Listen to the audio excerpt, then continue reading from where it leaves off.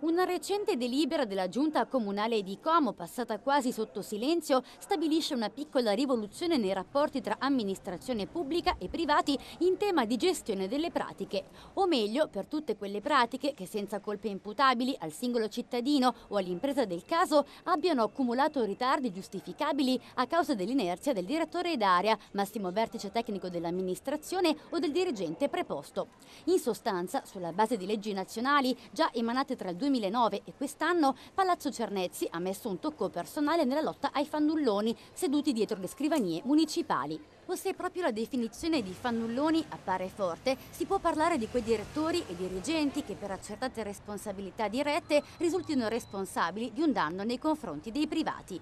La pietra angolare per ogni tipo di provvedimento sarà il termine fissato dalle leggi nazionali o dai regolamenti comunali, entro il quale una determinata pratica deve essere chiusa. Che si tratti di costruire un pollaio, un complesso residenziale, piazzare un cartello o altro ancora non farà differenza. Il dirigente a cui spetta la sovrintendenza della specifica pratica dovrà tassativamente dare un responso al cittadino o all'imprenditore entro una data prestabilita, cosa che di frequente non accade, così ecco che il dirigente risponderà in prima persona.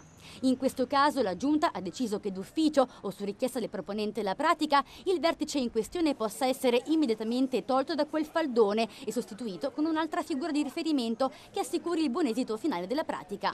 La novità, tra l'altro, è che il privato potrà rivolgersi direttamente e senza intermediari al segretario generale di Palazzo Cernezzi via mail, telefono o recandosi in ufficio. Una volta puniti ed esautorati, direttori d'area e dirigenti potranno persino essere messi in mora e non è finita. In caso di ritardi accertati, il privato potrà anche ottenere un indennizzo di 30 euro per ogni giorno di sforamento dei termini. E se anche questo subisse ritardi, per il comune si aprirebbero le porte del Tribunale civile.